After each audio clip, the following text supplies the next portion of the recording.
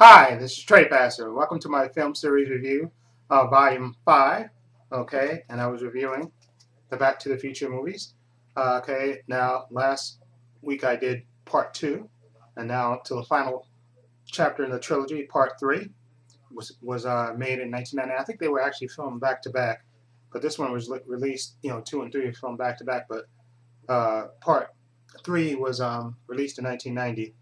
Anyway, in this story, um, if you remember how 2 ended, minor spoiler, uh, after retrieving, going back into 1955 and getting the book away from Biff, the sports book, which changed the future, yeah, they, you know, they were getting ready to travel back to 1985 when lightning struck the DeLorean, causing the doc and the time machine to vanish. Of course, so Marty was immediately stranded in 1955 with no Doc and no time machine.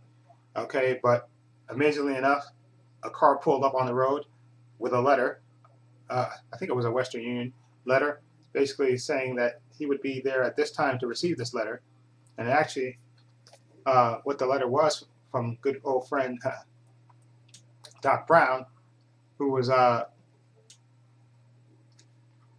who was um, struck. He actually got stranded back in 1885 okay, and he sent Marty a letter telling him that he's okay and living well in 19, well, no, excuse me, in 1885, okay, and that's how the movie ended. So this movie begins, oh, actually, that's not how two ended. Two ended with Marty running right after the 1955 version, running into 1955 version of Doc Brown after he sent Marty to the future, okay, and so he, he as soon as Marty left, he came back. And I, I love how it ended part two where Marty running after the he took off the uh, he came running back and telling the 1955 Doc that listen, I'm back. and of course, Doc fainted. okay. And then of course this movie begins with you know Doc, you know Marty taking Doc, you know the passed out Doc home, and of course when Doc gets conscious, he uh, thinks this Marty is a this Marty that he sent to the future is a to stare back now is a figment of his imagination. Hey, he even calls him Future Boy. okay, until Marty points out this is the letter that you sent to me, and you you know it's basically telling me that you're alive and well and where the time machine is. Okay, so I can get back and how to how it was damaged and how now the 1955 version of Doc Brown can fix it and send Marty back to the future to 1985 where he belongs. Okay, but during the course of fixing it, okay, they discover that Marty discovers that Doc Brown actually got murdered in 1885. Okay, by uh, I think what's the guy's name? Uh, uh, Biff. What version of Biff is this? Uh, uh, Mad Buffett, Mad Dog Tannen. Okay, that version of him murdered Doc over a debt of like 80 bucks. Okay, so Marty decides, listen, I'm I'm going back to the to the past to save you, Doc and bring it back. Okay? Even though Doc specifically tells him in the letter just to go to 1985 and destroy the letter that he was happy and content living in the West. And but you know Marty, that's his friend, so he's going to go back to the past. So with current 1955 Doc, you know they devised a way, you know, dress him in wacky clothes, and he's going to go back to the future. He's going to go back to the past to 1885 and save Doc from getting killed. Okay, and then travel back with Doc to 1985, okay, and then destroy the time machine, okay, and that's how this movie, that's the basic premise of this movie, okay, and let me say, uh, this movie I have appreciation for it.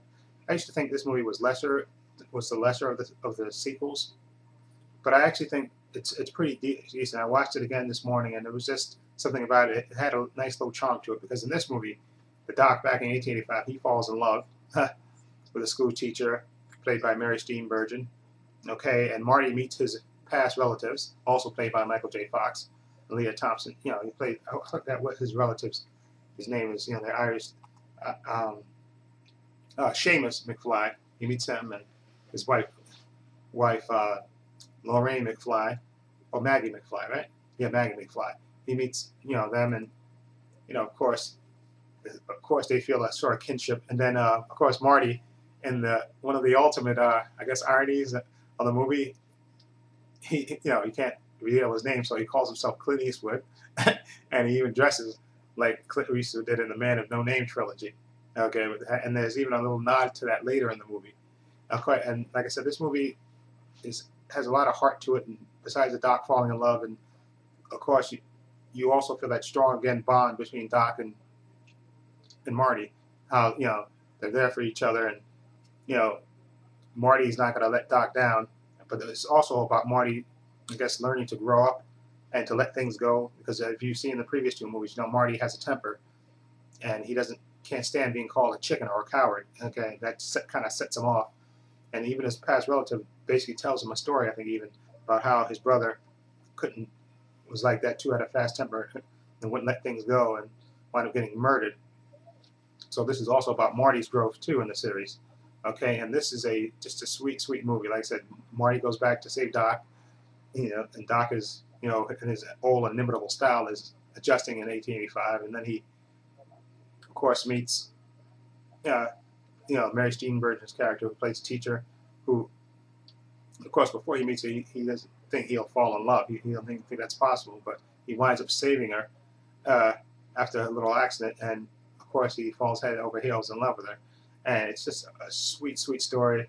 And you know how Marty has to overcome his things and let things go and not always fly off at the handle and stuff and let okay. And then also about the Doc falling in love and and then of course you have your Thomas F. Wilson who plays Biff Tannen, who's actually hysterical again in this movie. In this movie, uh, Lea Thompson's character is kind of more in the background. She, you know, like I said, she plays uh, Maggie McFly, the wife of Seamus McFly, who Marty McFly, you know, who Michael J. Fox plays as well.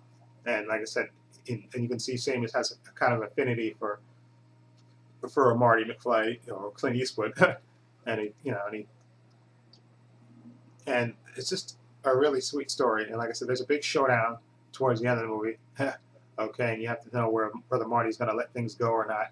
Okay, and then you also have the the uh, the added burden of Doc being in love with with Clara, played by Mary Steenburgen, whether he's going to let her go or and just go to the future and or be honest with her. And like I said, they have a lot in common, science and everything else, and that's just part of the charm. And this is really sweet, sweet love story. And Christopher Lloyd and Mary Steenburgen have good chemistry, and it's just a, a great, perfect way to wrap this this series up. And I absolutely love the very end of this movie. It's just absolutely perfect. And Robert Zemeckis, I have to give them credit. Him and uh, Bob Gale, I think they were the creators and stuff.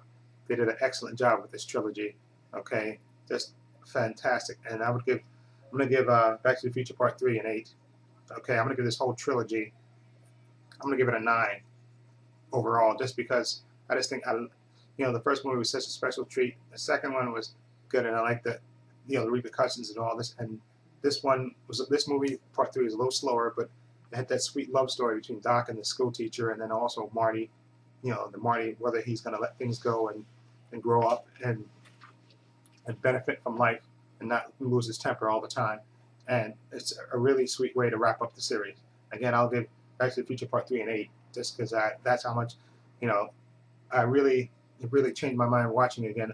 You know, from memory, I thought maybe it was the lesser of the sequels, but I think not. I think it's a real sweet way to wrap up the series. Okay, so that's the end of my of volume 5 of my Back to the Future trilogy. So tune in next week. I'll be up to volume 7. I'll have to pick a new uh, film series. Tune in next week to see what that is. Okay, so let me know what you think of the Back to the Future Part 3 and the trilogy overall. Feel free to leave comments down below. And this is Trey Pacer saying so long and take care.